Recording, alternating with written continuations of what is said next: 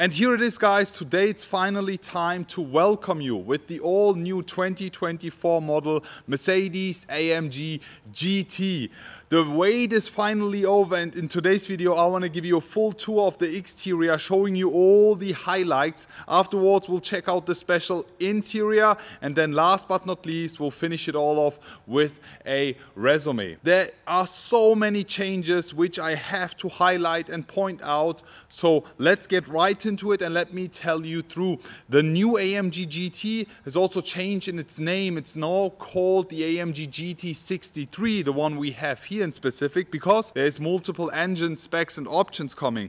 This one here is the 63 option coming with the 4 liter V8 biturbo, the iconic engine, but producing 585 horsepower, 0 to 100 sprint in 3.2 seconds. But as we already know from the new SL, the car also comes with the 55 V8 AMG engine, giving us 476 horsepower. It's exactly the same engine, but with less power. The VMAX of the 63 GT is at 315 kph. I can't wait to drive it and listen to the sound. I'm so hyped and excited about that.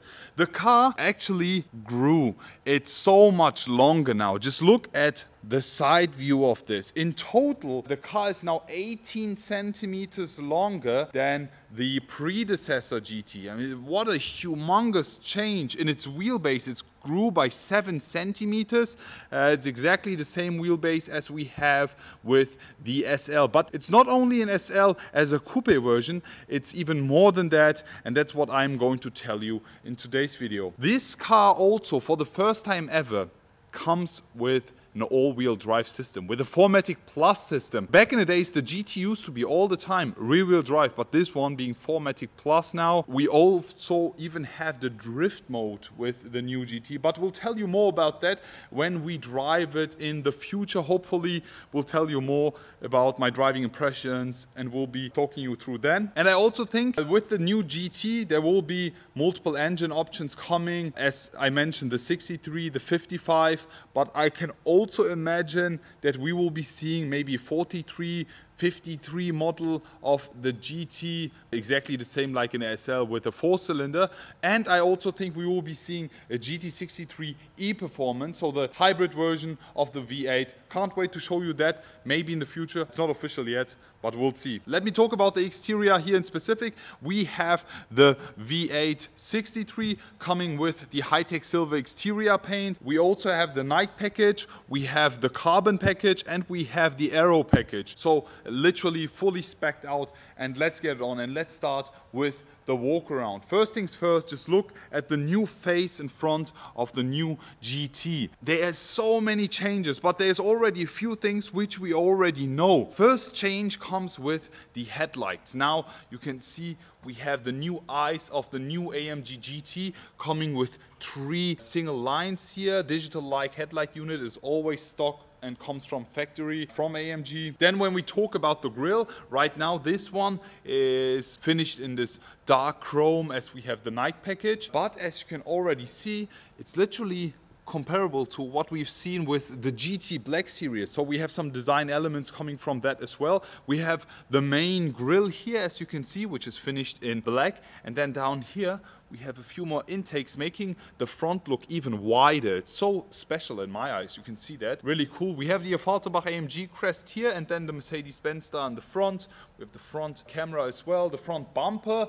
Also here with the side skirt, super nice. We have a lot of air coming in. We have the front splitter finished in carbon fiber as we have the carbon fiber package and the car is just so special. Just look at it. All in all, the GT is now extremely wide in the front and also in the back. We also have, as I mentioned, the 4MATIC Plus system. Here's an all-wheel drive GT now, and there's just so much I need to mention. First things first, I mean, just keep in mind, this is a base GT. So what can we expect next from AMG? Imagine they show us the GTS or GTC or GTR or even the GT Black series. Can't wait to show you that in the future, but I mean already the base of the GT is so, just so special and crazy looking. Let me just talk you through. You can see the amazing body work. Also, when you just look at the side, the way they shaped it now, it's just so much different to a GT back in the days. Let me just show you a GT here and then compare it with the side view of the new GT. They've just moved the A-pillar, the entire greenhouse. You can see the new shoulders, the entire setup here, making the car now extremely practical because the new GT actually comes as a 2 plus 2 seater. We'll be showing you the interior in a minute. Let me just focus on the wheels because these are also super special. It's a new AMG wheel setup coming with the new GT and I've seen this on a few spy shots back in the days. They look so good. I really like them. It's 5 spoke with a Y shape. It's just a new design here also with the carbon ceramic brakes. And now just look at the wheel setup. Back in the days, since we had a rear wheel drive, we had mainly 20 inches in the front and 21 in the back or 19 in the front and 20 in the back. This time we have 21 inches here in the front and in the back also 21 inches and the tire size is 295.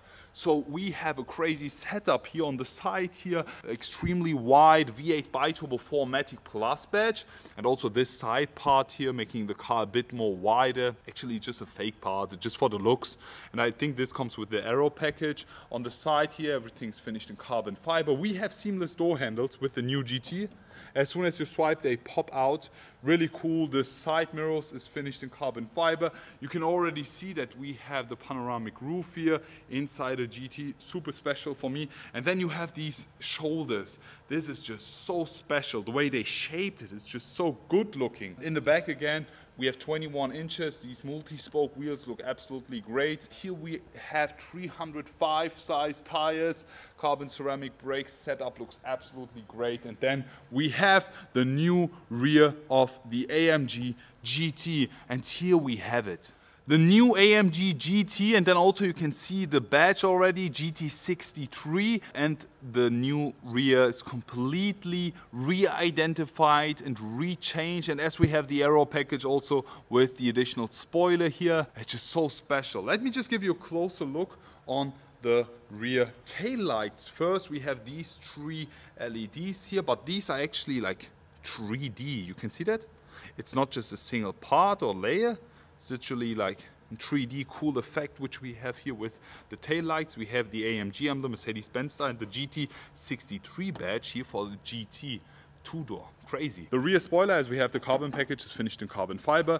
If you don't go with the aero package, you have the normal adjustable spoiler, which we knew from the predecessor. You can adjust it, I think, in five positions. It's crazy. Can't wait to show you that. In addition to that, we have this connecting part here again, finished in black gloss. This is actually something they've been using the recent cars lately, and I actually don't mind. It looks pretty okay. But how do you guys like it on a new GT? The rear diffuser is full finished in carbon fiber as we have the carbon fiber package. The exhaust tips are finished in black as we have the night package. It looks absolutely fantastic. I really like the rear. How do you guys like it? Just look at it, especially with the wider body here, with the wide arches, with the shoulders, extremely muscular, with the exterior paint here, well chosen. I really like it. But now let's talk about the inside. And here we have it, the new AMG GT interior and also the AMG Mercedes light animation here coming with the digital like headlight unit. How do you guys like the interior? Talking about the interior, as I mentioned, we have a 2 plus 2 seater now. As soon as you lift this seat up, you have plus two seats here in the back. There is not a lot of space. It's actually comparable to what we've seen with the SL already, but it's a super nice and practical feature to have, especially when you have kids, to put them here in the back. It's just so cool to have that with the new GT. There's also something that I have to show you before I continue with the interior. Opening up the trunk from down here, that's how trunk lid moves up. And then guys, just look how much space we have here inside an AMG GT. 250 liters of trunk space. This is so impressive. They have made the GT one of the most practical sports cars ever built. And then, if you need more space and you have no people sitting right there, you just push this button, watch this. And you have more space inside an AMG GT. This is the most practical sports car I've ever seen. Just look, you can literally fit so much things in the back of your GT now. It's absolutely special and crazy. You can put that back down here. There we go. And let's talk about the interior now. Let me just jump right inside. So we are now right inside the all new AMG GT interior and this is actually comparable to what we've already seen with the new AMG SL. I mean, as you guys know, AMG developed the SL fully in-house and it was already rumors in the room that they will be taking the, the whole base also for the new GT and that's what they actually did. And when you talk about the interior, it's literally the same. The only thing that is not the same, I guess, is, one second, here also with the steering wheel buttons. The only thing that you can't do here is you can't tilt this uh, display. That's it. Actually, in the inside is literally an SL. Also, we have the sport seats here, the AMG ones, bucket seats, really cool full leather finish. I really don't get why they put bright Alcantara here on top. You can also close the sunroof. It's pretty nice. It's not electronical or something. As I mentioned, 2 plus 2 seat. You can put the seat back down and then can have two more people, actually children, sit in the back. We have the ambient colors in the inside, illuminated air vents, and a super nice and gorgeous looking steering wheel. Talking about the steering wheel, flat bottom AMG steering wheel, Dinamica finish, carbon fiber finish, and then there's something I really don't like already about the new GT is... Oh, why would you do that? Why? What's the thing about this? Plastic airbag cover inside an AMG GT? Are you kidding me? Is that a joke? Please tell me it's a joke. Why would you do that? I mean, for real, why would you do that? You have a super special and luxurious interior. Everything is here finished in either leather, Alcantara or carbon fiber. And then you have this stupid airbag cover. Honestly, AMG, you can do so much better. Why would you do that? Anyways, the entire infotainment and setup is exactly the same as we have with the SL. And here you can also see a 3D rendering of the car. There we go. Also with another wheeled setup. And the rear exhaust tips finished in chrome. So special. Also here this comes from factory panoramic roof. Also with the rear tail lights. Super cool. What do you guys think? All the time when I look at the 3D renderings, it's just so different than what I actually see here. Also with the chrome grille. It's something I really like to do. Anyways, we have the SL specific display here in front of us. We have the normal display. We have some space in here, two cup holders, wireless charging, USB-C charger ports. Right over here we have a few more USB-C charger ports, wireless charging, whatever. Uh, Burmester speaker covers and all in all, what do you think about the new GT actually SL interior. It's literally an SL interior inside here. There's nothing special about the GT actually in the inside, to be honest, which makes me kind of sad, but honestly, I actually don't mind. It's, it's an okay interior. I wasn't even a big fan of the SL interior, and I think they could have done so much better inside the GT, but I mean, it's still the same base, so copy pasting it makes sense, but I would have done it the other way around. But anyways, head-up display. And then you can also see, you can adjust also the front here, aero improving it. I think you can do that by the steering wheel buttons. One second, let me Nah, I don't think you can do that. Anyways, you also have the exhaust button here. You can literally do that also from the um, here from the system. Switch it from Sport, Sport Plus, and then Race mode. You have the exhaust button here, the suspension settings, also with the slippery, and I really love the design here. What do you guys think about it? Please chat in the comment section below.